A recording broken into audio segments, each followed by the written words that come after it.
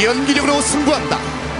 명품 배우들의 명연기에 빛나는 신데렐라 언니.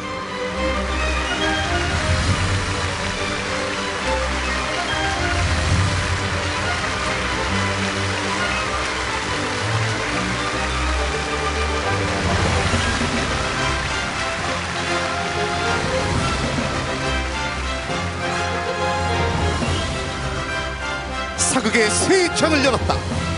올해 각종 시상식을 석권한 추노